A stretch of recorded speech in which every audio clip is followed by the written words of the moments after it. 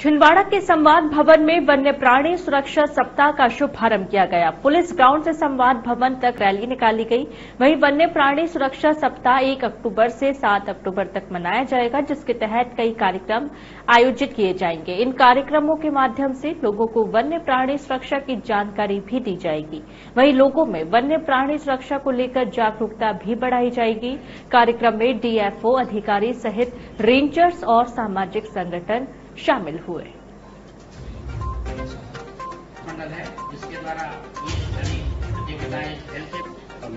आप लोगों को ये बताते हुए हर्ष हो रहा है कि अपना जो मध्य प्रदेश है, टाइगर स्टेट तो है ही, पेंथर के मामले में भी हम लोग सबसे आगे हैं। पेंथर के साथ साथ हम जो वल्चर गिद्ध है, उसमें भी हम सबसे आगे हैं।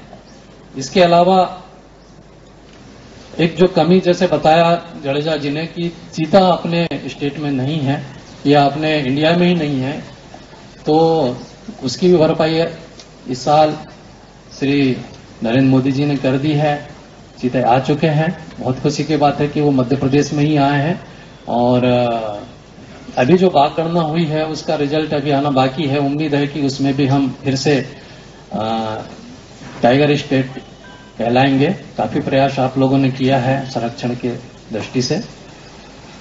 इस कार्यक्रम में पूरे सातों दिन के रूपरेखा श्री चोपड़े जी ने बताया है कि हर दिन हम क्या क्या करने वाले हैं और हमें बेहद खुशी है कि स्कूली बच्चे इसमें पार्टिसिपेट कर रहे हैं और सभी मिलजुल करके इस कार्यक्रम को सफल बनाएँगे।